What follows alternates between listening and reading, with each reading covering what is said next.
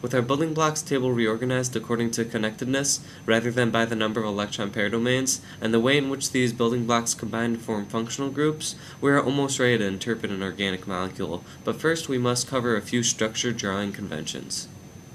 The first of which is the use of implied atoms in chemical drawings. The two atoms that are governed by this convention are carbon and hydrogen. In the case of carbon, while the atoms are drawn, they're not explicitly labeled.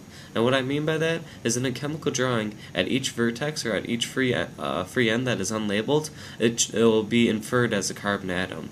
Take for example the upper left structure. We can see we have a vertex point right here, and even though it's not labeled as being carbon, it still is. We could still assume it to be a carbon atom. And then if we look at each free end, we could also see that uh, those are not labeled either, but those are also carbon atoms. And this is shown in the drawings on the right.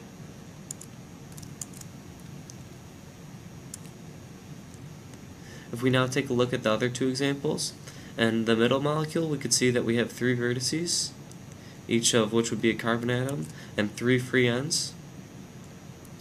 Therefore, there are a total of six implied carbons in this compound, and in the final compound below, we can see that we have one vertex and three free ends. And notice that these two uh, atoms on either end of the triple bond don't necessarily fall into the category of being a vertex or of being on a free end, but since they're unlabeled atoms um, on each side of a triple bond, we could assume them to be uh, carbon atoms. While carbon atoms are drawn but not explicitly labeled in an organic structure, hydrogen atoms connected to carbon atoms are not explicitly drawn and are implied. Based on the rules we've established about formal charge, we know that each carbon atom, in order to remain neutral, must have four bonds associated with it. So if we take a look at our top structure and take a look at any carbon atom, we could see that the carbon atom in the middle has two bonds connected to it already. So in order to remain neutral, there are going to be two implied uh, carbon to hydrogen bonds on this molecule. On the two free ends, uh, there's uh, only one bond associated with each carbon atom, so we could uh, we know that there should be three implied carbon to hydrogen bonds on the free loose ends. And if we look at the structure on the right, that's exactly what we see. Three carbon to hydrogen bonds on each of the carbon atoms on the end, and two on the carbon in the middle. The molecule below differs only slightly in that there is a double bond present. Uh, so if we take a look at the carbon atoms associated with this double bond, uh, the carbon atom on the right here has three bonds associated with it, uh, one single bond and uh, one double bond. So we could we know that there should be one implied hydrogen associated with this carbon atom. On the other uh, carbon atom, however, associated with the double bond, it already has its full four bonds, it already has a full octet, and it's already neutral. So there are no implied hydrogen atoms on this uh, carbon atom. Now if we take a look at the free ends, uh, as was in the case before, there are three implied hydrogens on each of these atoms. And on the final carbon, there are two implied hydrogens there because it already has two bonds associated with it. And once again, this is exactly what we see on the structure on the right. In our final example, each carbon surrounding the triple bond already has three bonds associated with it and will therefore not have any implied hydrogen atoms. Um, the free loose ends, once again, will have three hydrogens um, that are implied. And then the carbon right here, notice it has only three bonds associated with it, so there will be one implied hydrogen on this carbon atom. And if we look at the structure on the right, once again, that's indeed what we see. Let's summarize this slide now and establish the differences between implied carbon and implied hydrogen atoms. Implied carbon atoms are most often not explicitly drawn. Um, they're located at the vertices or the free ends of an organic molecule and are not explicitly labeled.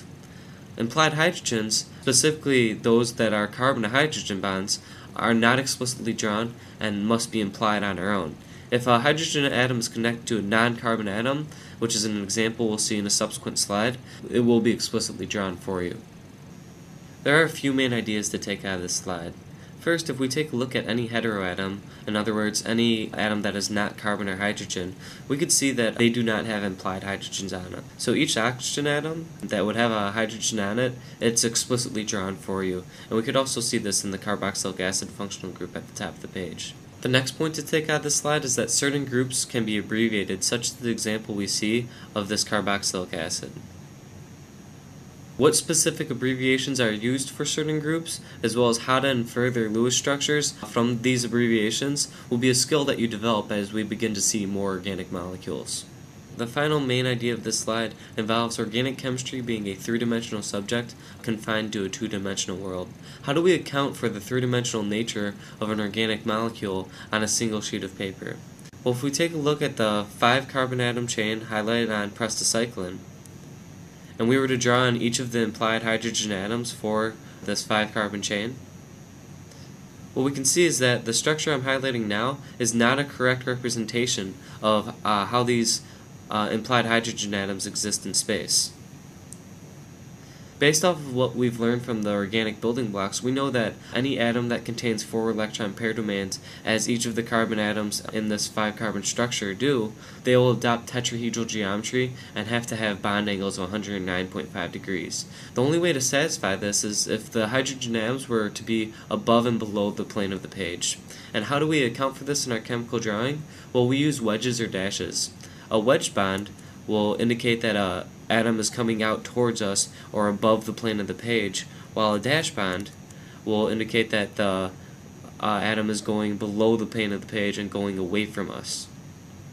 The example on the bottom right of this page is one of the most commonly made examples for a beginning organic chemist to make and notice that there's no way for us to tell where these uh, hydrogen atoms lie in space based on the way they're drawn here. The only way for us to correctly represent these hydrogen atoms in space is to draw a wedged and a dashed bond coming off each vertex of our 5 carbon chain. One convention that you've probably already picked up on is that carbon chains are represented as zigzag lines. If we take a look at this structure here, we can see that the carbon backbone is uh, represented by this zigzag line here.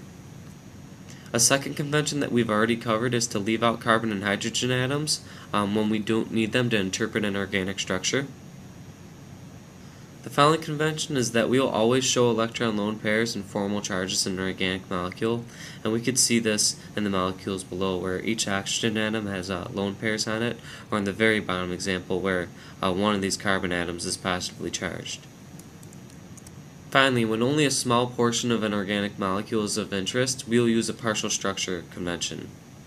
For instance, if we are only concerned with the carboxylic acid functional group of a much larger organic molecule, we could use a squiggly line or a partial structure convention to represent the rest of this molecule rather than draw it out. Last but not least, I'll warn you of this now. Do not get fooled into forgetting implied hydrogen atoms. It is one of the easiest traps to fall into when looking at an organic structure. Take for example the molecules below. Uh, one has a one is a carbocation, while the other one is a completely neutral structure. And while identifying the implied hydrogens on the free ends of each molecule is probably an easy uh, task to do, a common mistake is to forget the last implied hydrogen on the neutral carbon. Since the structure on the left is a carbocation, there are no implied hydrogens associated with that center carbon atom. But the molecule on the right, do not forget to include that one carbon hydrogen bond that is missing.